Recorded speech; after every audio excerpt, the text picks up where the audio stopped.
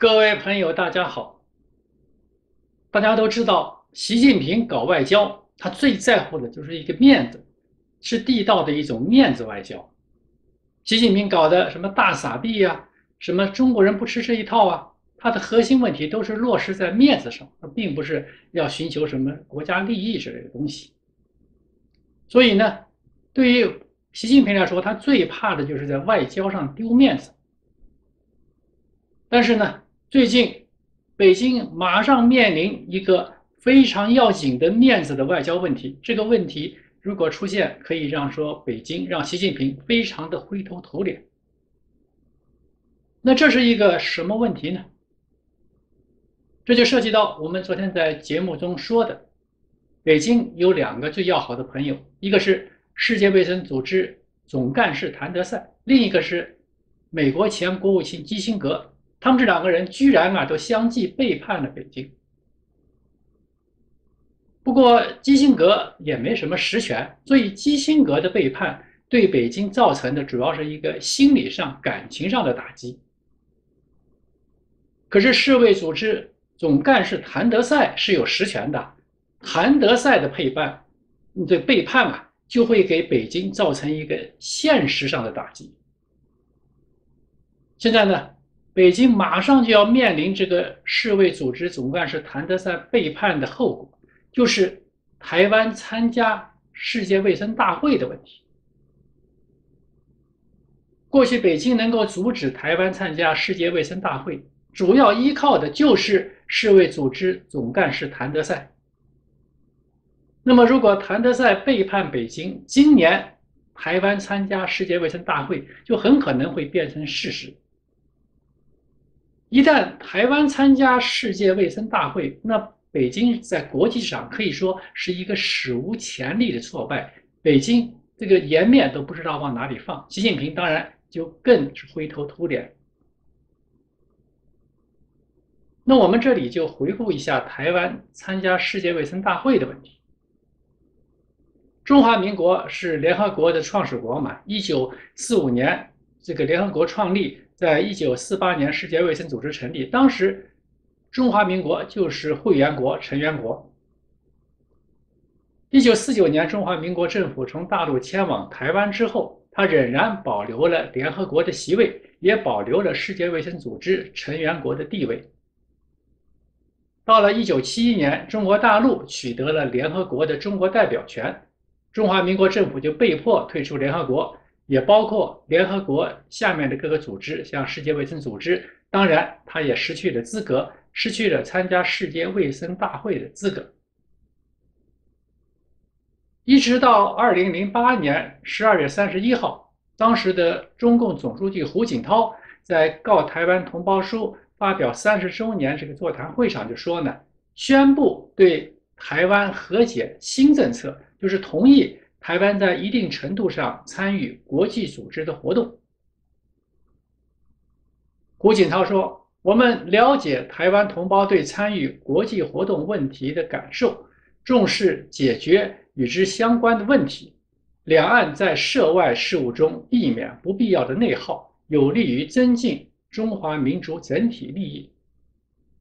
对于台湾同外国开展民间性经济文化往来的前景。”可以是需要进一步协商。对于台湾参与国际组织活动的问题，在不造成两个中国一中一台的前提下，可以通过两岸的务实协商，做出合情合理的安排。那么，在胡锦涛这个对台湾和解新政策的推动下，在二零零九年三月二十六号呢，世界卫生组织就邀请台湾以中华台北。名义来参加世界卫生大会。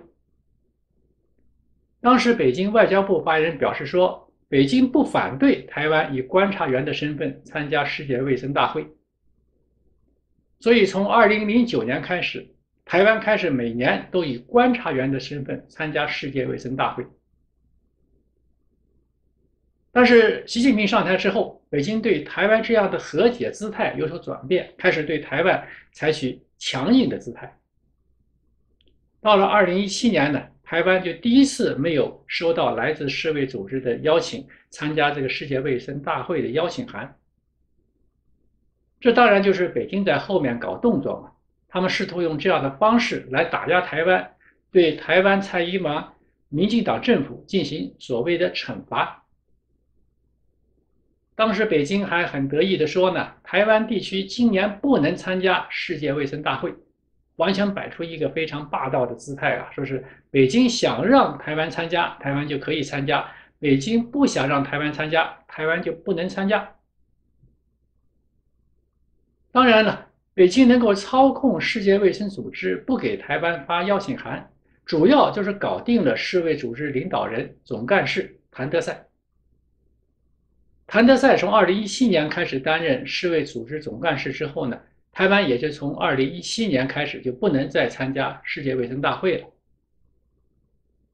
据说呢，北京在谭德赛竞选世卫组织总干事的时候，就出了很大的力，帮他拿到了这个世卫组织领导人的宝座。甚至有传说啊，说北京私下给了谭德赛很大的好处，所以谭德赛对北京是马首是瞻，完全听北京的指示。所以谭德赛还有一个绰号叫做“谭书记”。在二零二零年武汉开始爆发新冠疫情之后呢，世卫组织总干事谭德赛是完全替北京说话，就替北京来甩锅、摆脱责任，这样呢就引起了国际社会强烈的不满。在二零二零年四月，美国的参议院外交委员会主席就向世卫组织总干事谭德赛去函，要求他出席美国国会的听证会，就外界疑虑他替北京站台的问题要做出解释。否则呢，美国就要切断对世卫组织的资金援助。当时的日本副首相麻生太郎也对世卫组织表示强烈的不满。他说：“世卫组织不是世界卫生组织，应该改名为中国卫生组织。”当时全世界有五十万人联署，就是要求撤换世卫组织总干事谭德赛。在这样的。强大的国际压力之下，谭德赛还是完全站在北京的立场上，替北京说话，替北京站台。特别是谭德赛在台湾参加世界卫生大会的问题上，是帮了北京的大忙。在去年二零二零年二月呢，随着中国爆发大规模的新冠疫情，并且向境外扩散，台湾就再次强调，台湾要加入世界卫生组织，要参加世界卫生大会。当时，美国、欧盟这些国家都是力挺台湾以观察员的身份来参加当年的世界卫生组织举办的世界卫生大会。在2020年日内瓦举行的世界卫生组织执行委员会上呢，台湾的邦加国巴拉圭、危地马拉这些国家多次发表挺台的言论，要求世卫组织让台湾以观察员的身份加入。美国、日本、英国、澳大利亚、新西兰，还有德国代表欧盟二十七个会员国都表示支持台湾参加世界卫生大会。那么就在这样的情况下，世卫组织总干事谭德赛还是拒绝讨论台湾参加世界卫生大会的问题，甚至谭德赛还来了一个转移目标啊，他把台湾参加世界卫生组织大会的问题跟种族歧视挂了钩。因为美国人非常重视种族歧视问题，谭德赛就希望用这个种族歧视问题来取得美国人的同情，来转移这个台湾的目标。在二零二零年四月八号，谭德赛在例行的记者会上，突然罕见的公开指责台湾和台湾外交部对他展开人身攻击，说是他们搞种族歧视，对谭德赛搞种族歧视。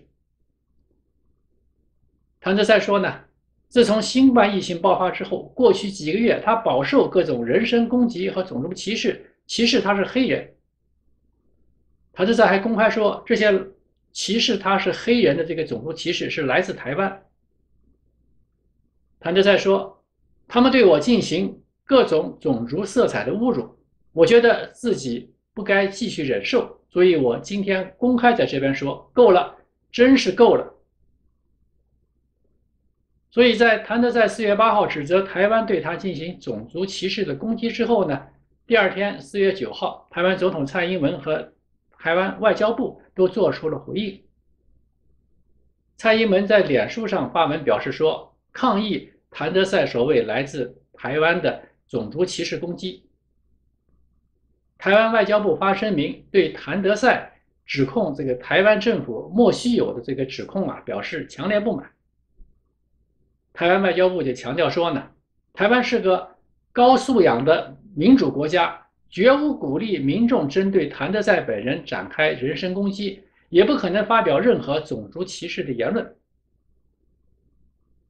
当然，当时北京是力挺谭德赛的，北京外交部发言人表态说啊。强烈谴责针对谭德赛的人身攻击和种族主义言行。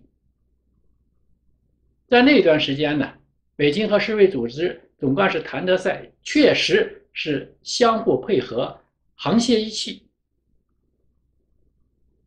那么，在这个国际舆论的强烈要求台湾参加世界卫生大会的情况下，谭德赛他还是继续找各种借口来搪塞。他说呢，世卫组织总干事是啊。就是没有权利对台湾发邀请函，只有当世卫组织全体成员才能做这样的决定，他个人不能做这样的决定。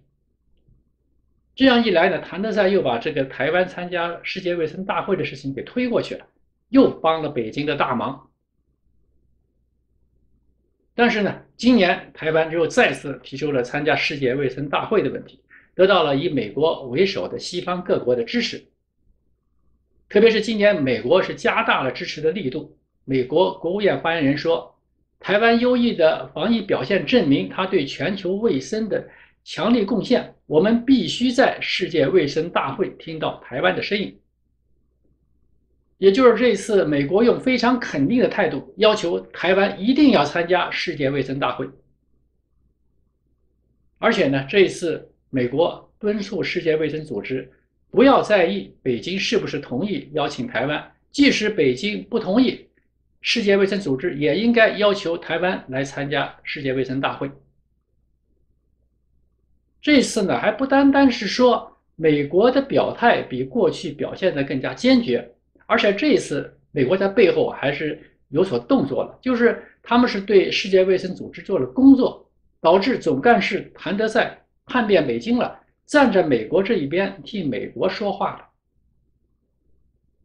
谭德赛对北京的叛变，对北京这个打击当然是非常的巨大。过去北京能够屡屡挡住台湾参加世界卫生大会，他靠的就是世卫组织总干事谭德赛。那现在情况不一样了吗？谭德赛对北京叛变了，谭德赛靠不上了。离开了谭德赛的帮忙，这次北京恐怕就很难挡得住。台湾要参加世界卫生大会，一旦世卫组织邀请台湾参加世界卫生大会的话，不仅是北京颜面完全丢尽，更让习近平这个战狼外交啊遭到中共高层内部进一步的指责和批评。